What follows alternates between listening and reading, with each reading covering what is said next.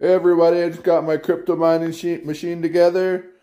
Uh, we got the CPU under here, we got the CPU cooler, we got the SSD, power, everything's here. And uh, let's fire up. There it goes. Look at that beauty. All right, this is the simplest crypto mining machine.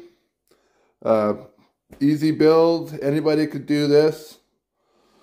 Everything's gonna fire up here. Got the boot menu already configured to start up because uh, it was came from, the SSD came from an older computer. Still got to for, format the the hard drive, but it all works. It all fires up.